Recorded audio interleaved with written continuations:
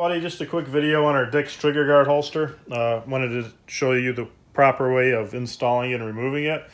Introduce you to a few new options or models of it as well. This here is our traditional uh, model. It's the first one we came out with years ago. Very minimalistic, simple holster. It's a 0.08 inch Kydex. It wraps around the trigger guard completely, keeping debris, dust, chapstick, whatever out of it. And most cases, it's going to completely cover the magazine release as well. As always, you can leave comments upon configuring and checkout on our website for any special ideas you may have or way you want yours built. To install this, very important note, to install this, it's a motion from the bottom up, not sliding it in from the front. We don't want anything potentially grabbing that trigger and pulling it back.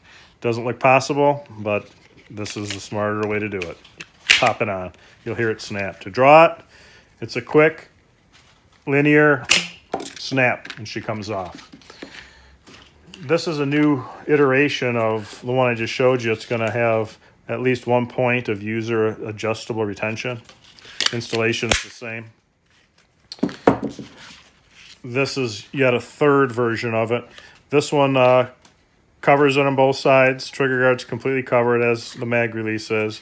But the Kydex wraps around both sides of the front end of the, the slide and actually wraps around the barrel, completely protecting it from getting debris, dust, etc. into the barrel. Um, this one, the draw is the same way. Install it's almost the same. You sort of stick it in an angle and then pivot it up. This holster is used in backpacks, range bags. We have customers who wrap the lanyard around their belt, adjusting a proper length, and carry the gun in front of their pants in the appendix style. They draw, limiting the, the lanyard out and free their weapon. Other people keep it in purses and anchor it, a nightstand, a glove box. These are just some of the, the ways that we've heard our customers are using it. So that's the Dix Trigger Guard holster from Detroit Holster the original Detroit Holster Company. Thank you.